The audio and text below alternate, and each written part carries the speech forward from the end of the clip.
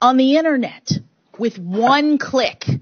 You can receive, you can distribute tens of thousands. You can be doing this for 15 minutes and all of a sudden you are looking at 30, 40, 50 years in prison.